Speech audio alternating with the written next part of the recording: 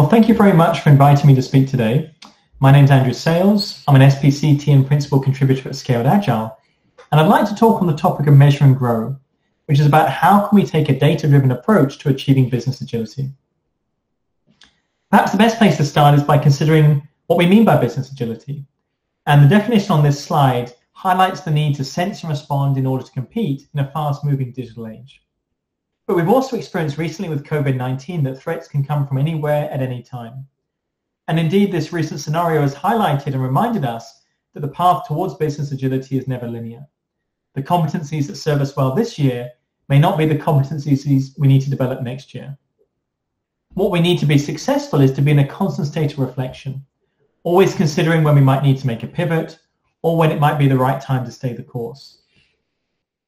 So how do we make the right decisions on this journey towards business agility? And the short answer is that organizations need to develop a data-driven culture, fact-based improvement rather than opinions and conjecture. Improvement results themselves are objectively measured. This helps the organization focus on the work to be done and less on assigning blame. And as the quote on this slide reminds us, cultural change of any kind starts at the top with leaders promoting this new way of working. Within SAFe, Measure and Grow brings together these two goals. It creates a data-driven approach in support of achieving business agility.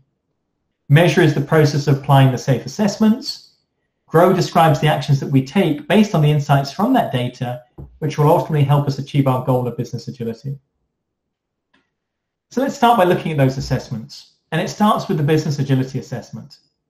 This assessment includes statements, which we'll have a look at shortly, that measure proficiency across all seven core competencies and the three dimensions within each core competency.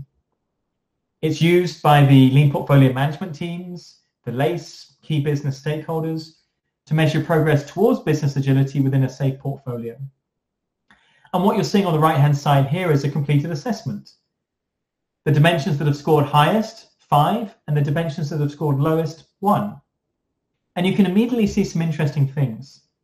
Lean Agile leadership in the bottom left-hand corner is scoring well in the leading the change dimension, which is great, but much lower in the other two dimensions, suggesting that leaders are not yet leading by example or not yet successfully demonstrating the mindset change that is required. And here are the statements from that business agility assessment, or at least some of them. These are the statements from the Agile product delivery competency portion. Each statement specifies a desired state on the journey towards business agility. And they're measured by reflecting on the practices. Why do we measure practices? Because these are the observable activities that collectively give rise to the competencies required for achieving business agility. And the added benefit of this approach is that by purely assessing, organizations are getting themselves to think much more deeply about lean agile ways of working. Why is this a desired end state? Why is this practice important and what does it mean in our context? And is this practice part of our transformation plan? Now, following on from the business agility assessment, it can often be the case that a core competency requires further investigation before corrective action can be taken. And this is where the core competency assessments come in. There's one for each of the seven core competencies. The Agile product delivery one is shown on the slide here. And in all other regards, the ways the statements are formed, the means to measure, exactly the same as the business agility assessment but the detail is greatly amplified. 50 statements for APD, as an example, compared to just nine statements for APD on the business agility assessment. And we're going to have a look at some use cases for these core competency assessments shortly. And then where do we go next? Once we've got the data, we need to close the loop. So the final step is to identify grows. Grows is the shorthand we use to describe the activities that are going to increase proficiency in a particular core competency dimension. And there's two sources for them. There'll be those that the organization themselves determine based on their deep domain knowledge from the low scoring statements. There's also a set of curated grows you can see on the right hand side here that we've put together recommended activities that we've seen work well. Once you've determined the grows that you want to take forward, we turn them into backlog items, stories or features. We prioritize them and we focus on delivering the highest, most important work first.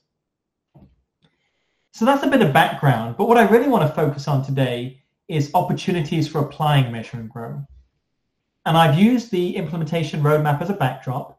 I'm just going to share some examples. It's not meant to be a definitive list by any means. And the first use for assessments of this kind is to create a business agility baseline using the business agility assessment. I've specifically put this after the change agents, executives, managers, and leaders have been trained, because as we know, some knowledge of SAFe and lean agile terminology is required to be able to assess effectively. And what are the benefits of this? The most immediate and powerful benefit is it helps to build the urgency for change. Seeing the results from the assessment help to drive the need to change and start on this journey towards business agility. It also helps to identify possible short-term wins. Are there some immediate corrective actions we can take to deliver some immediate improvements? And then, of course, by measuring across the entire portfolio, it can help us to decide where we're going to start on this journey. Which art has the greatest urgency? Which art is struggling, or which area rather is struggling at the moment and would be the best candidate for a first art? And then, of course, once we have the baseline in place, we can use this as a way of reflecting and demonstrating the improvements that we're making further down the line. Now, the second example opportunity is using assessments to build out incrementally the implementation plan. And this again is critical. Knowing that organizations are starting from different points, they're of different sizes, they're operating in different markets, they're going to need to adapt the implementation plan to suit their needs. The assessments are going to help us to focus on the greatest need. They're also going to allow us, if we run them every PI, to develop and build out the roadmap incrementally. Many organizations see great benefit in creating a three PI rolling implementation roadmap. The assessments can help us to extend this. And then importantly, they're going to help us to validate the right pace of change. Are the results from the assessment showing that the practices we're putting in place are becoming self-sustaining? Or are we actually falling back into our old ways of working? If we are, maybe we need to slow down, reinforce some of these new ways. If things are going well, perhaps we can accelerate the change. And then finally, if we're using the online versions of these assessments, it gives us the opportunity to compare against industry benchmarks. Are we focusing on the right things in comparisons to our competitors? The third scenario is about how we can start to use these assessments as tools for the teams and arts on their continuous improvement journeys. And the important step here is that we're decentralizing the access to these assessments. Perhaps the teams are using the Team and Technical Agility, the TTA assessment, to create inputs to their retrospective. Perhaps the Agile Release Train is using the results of the APD, the Agile Product Delivery Assessment, to feed in and focus their upcoming I&A. But either way, they're using the results and the data that they glean to help them understand the improvement items at their level of the organization. So what is it that the team want to take into their backlog? What is it the art wants to take forward as part of their improvement roadmap? And then finally, the fourth scenario that I'm highlighting is how we can use the assessments to accelerate towards business agility. By the time we get to the final step of the implementation roadmap, we're really in a continuous improvement mode.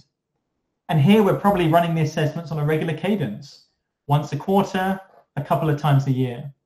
And what we're doing is using the results from them and the, the continued demonstra- demonstration of progress to support the continued strategy for improvement, helping to support the continued investment. We're also starting to share the successes wider across the organization and helping to extend agility outside of the technology domain and starting to roll out organizational agility it provides a great way and a great opportunity to share the learnings wider across the organization.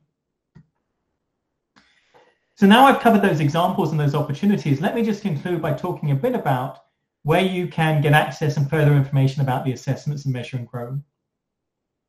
The spreadsheet versions of the assessments are available to everyone from the Measure and Grow article on the Scaled Agile framework.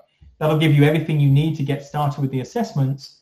And then for SAFe community members, you can come to your community um, portal and access the assessments through our online providers, Agility Health and Comparative Agility, you can also get access to the Measure and Grow toolkit that will give you everything you need to get started running assessment workshops.